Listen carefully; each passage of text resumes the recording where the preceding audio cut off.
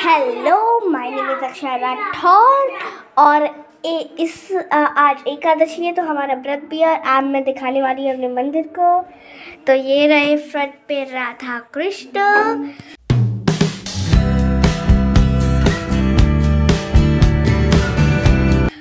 और ये रहे हमारे कृष्ण बाल बाल कृष्ण। और ये गणेश।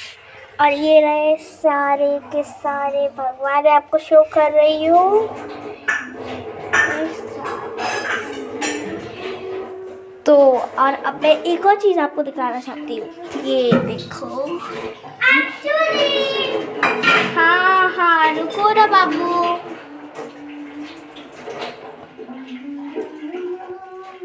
तो कैसा लगा आपको ये हमारा मंदिर? इसमें बहुत सारे भगवान की फ़ोटो भी है।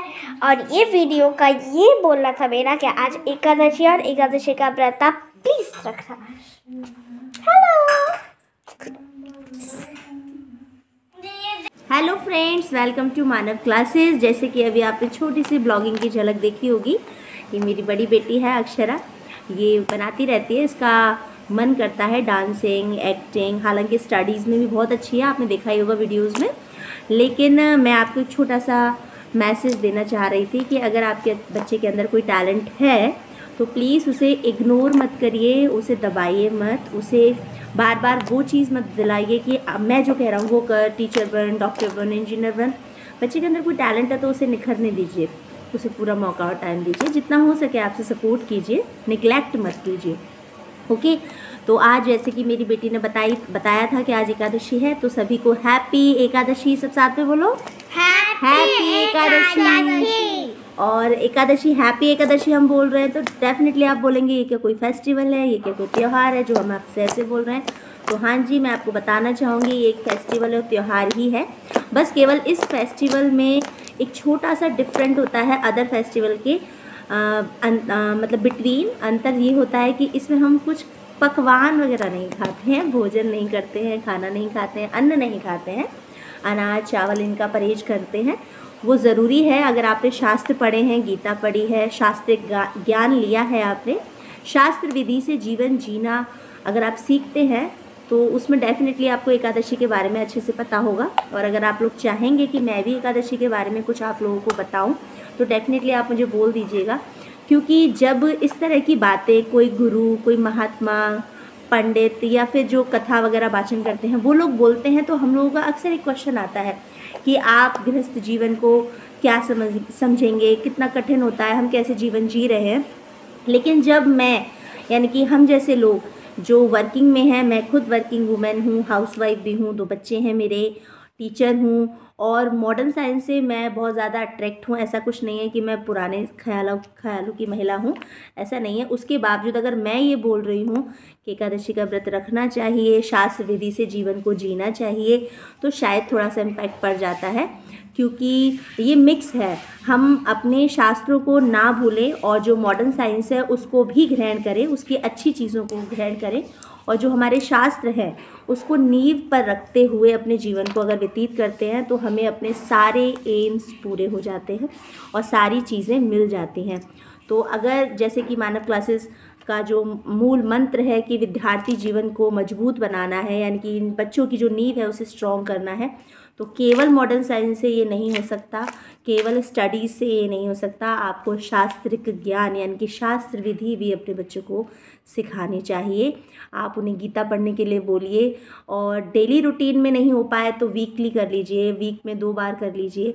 ऐसा करके आप बोलिए यूट्यूब पर काफ़ी सारी चीज़ें आती हैं। उसमें काफ़ी सारी चीज़ें हैं मोटिवेशन है और कार्मिक अकाउंट के बारे में बताया है, कर्मा बताया है, कर्म समझाए गए हैं। तो this is very important thing और एकादशी का व्रत है तो एकादशी के बारे में मैं ये बताना चाहती हूँ, क्योंकि जाने अनजाने हमसे कुछ ऐसी चीज़ें हो जाती हैं, जिसके लिए हमें पाप लग जाता है और भोगना भी पड़ता है। काफ़ी जो बहुत ज़्यादा मॉडर्न हो गए वो कहेंगे, अरे, कुछ नहीं होता है पाप, पुण्य कुछ नहीं होता है। लेकिन होता है, ऐसी बात नहीं है, होता है। सारी चीज़ें होती हैं, हम तो मानते हैं और हमने जब से माना है, तब से हमें इसका रिज़ल्ट भी बहुत अच्छा मिला है है ना बच्चों? हाँ। राइट हाँ। क्योंकि बहुत ज़रूरी होता है कि जिस प्रकृति में आप रह रहे हो प्रकृति के लिए भी आपको कुछ ना कुछ कंट्रीब्यूट करना चाहिए। अदरवाइज़ प्रकृति हमेशा हमको देती रहती है। हम उसको थैंक्स भी नहीं बोलते हैं। हम लोग सुबह सुबह उठ के प्रकृति को थैंक्स बोलते हैं क्योंकि प्रकृति जो हमें दे रही है वो हम उसे रिटर्न कभी नहीं कर सकते। तो एटलीस्ट उसे छोटा सा थैंक यू तो बोल ही सकते हैं in every day in morning and night so please I hope आपको ये बातें समझ में आ रही होंगी और आप इम्प्लीमेंट करके देखिए रिज़ल्ट आपके सामने खुद ही आ जाएँगे। आप गीता में जो लिखा है वो सारी चीज़ें मैं भी पूरी तरह से फॉलो नहीं कर पाती हूँ। एटलीस्ट उसे मान लीजिए कि हाँ ये करेक्ट है ये सही है। हम नहीं कर पा रहे हैं वो एक अलग चीज़ है।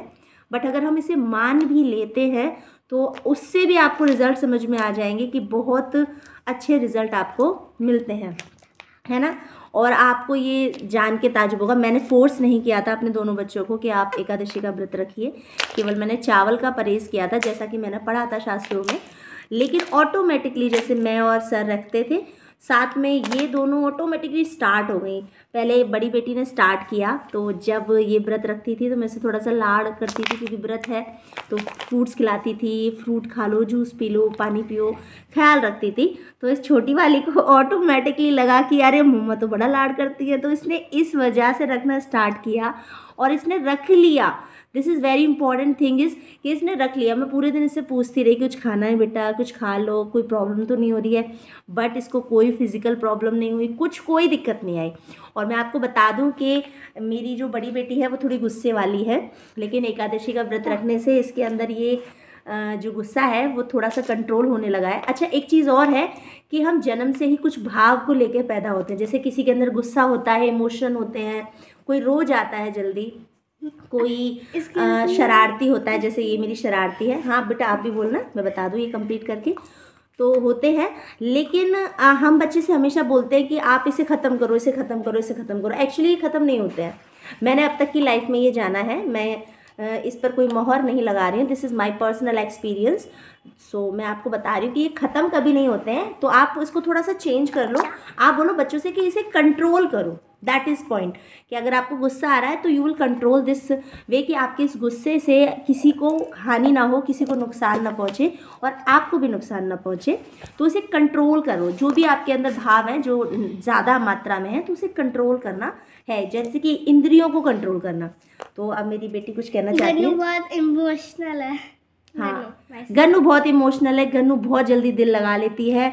हमारे यहाँ जो डॉगीज थे उनसे हमारे यहाँ गूगल आया था आपने देखा होगा चैनल पे उससे बड़ा दिल लगा लिया उसने। और कोई थोड़ी देर रुक जाता है फ्रेंडशिप कर लेती है दिल लगा लेती है रोने लग जाती है। है ना गन्नू? और आपको कैसा लग रहा है व्रत करते हुए? अच्छा। अच्छा कि अच्छा? बोलो।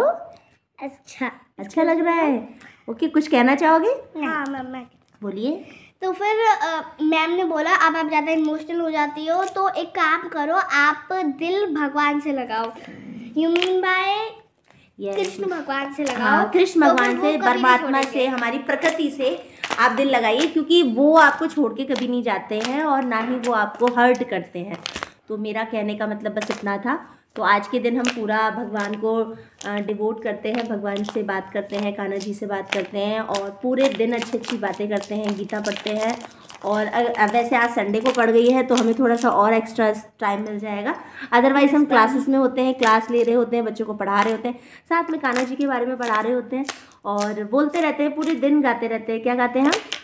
हरे कृष्णा हरे कृष्णा कृष्णा कृष्णा हरे हरे हरे राम हरे राम राम राम हरे हरे पहले ये तो बोल लो हरे कृष्णा हरे राम हरे कृष्णा हरे कृष्णा कृष्णा कृष्णा हरे हरे हरे राम हरे राम राम राम हरे हरे अब बोलो क्या बोलना चाहती हो मैं बोलना चाहती हूँ मैं दीदी मम्मी से प्यार के लिए नहीं कर रही थी मैं तो किसके लिए फिर लगा था। उसको लगा था। अच्छा कान्हा जी से अट्रैक्ट हो गए थे आप।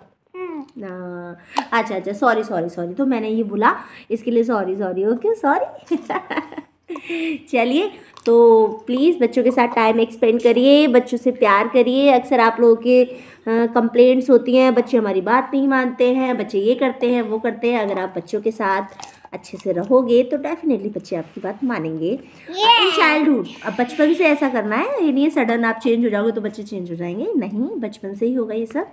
ओके आई होप आप भी एकादशी का व्रत रखना स्टार्ट करेंगे। और एकादशी के व्रत से रिलेटेड या शास्त्रिक ज्ञान से रिलेटेड अगर आपको कोई इन्फॉर्मेशन चाहिए तो डेफिनेटली आप कमेंट करिए। हम आपको बताएँगे जो हमने एक्सपीरियंस किया है हमने उसे एक्सेप्ट करा है। एक्सेप्ट करने के बाद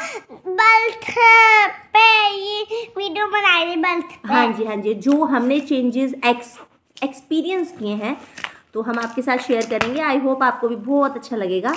एक संतुष्टि वाला जीवन आपको मिलेगा। और आपको अच्छा लगा हो तो लाइक अरे अभी नहीं अभी नहीं अभी नहीं। अभी तो आगे और भी बहुत सारी चीज़ें हैं तो सर भी बात करेंगे। उसके बाद हम आपको रिक्वेस्ट करेंगे कि शेयर करिए लाइक करिए सब्सक्राइब करिए और कमेंट करिए। और ज़्यादा अच्छा लगा हो तो एकादशी का व्रत रखिए।